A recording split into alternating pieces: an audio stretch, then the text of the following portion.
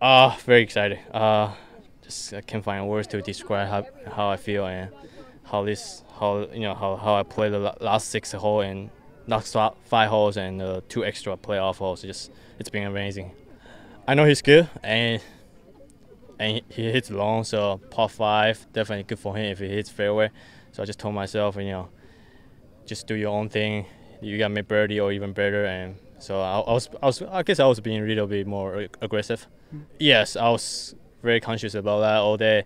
Uh, it's it was really quiet for me. To, uh, quiet start. Uh, so I, I, mean, I'm 14. I knew I, I, I need to start making. I was couple. I was, I was probably four shots back, and I told myself I need, I need to do something. I need some magic right now, and which I made a birdie on 14, and I feel really good about my game after that, and I feel really good about where pin position is on 15, and made a birdie another birdie. So it definitely kept you know kept me going. It's been awesome. I mean, I can complain. The, I mean, the golf course is awesome. I play really well. I drove well, putt well.